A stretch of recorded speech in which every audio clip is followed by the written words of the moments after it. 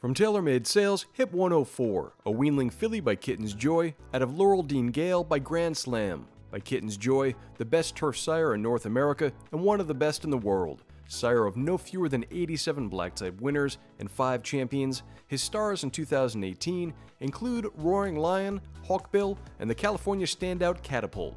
Out of Laureldean Gale, a French group performer and dam of two winners from three to race, this filly's three year old full brother, Winds of Fire, a Godolphin homebred, won at two last year in England and came back to take a Salisbury handicap in August, while another sibling is the dam of the Irish Stakes Place two year old of 2018, Eclipse Storm.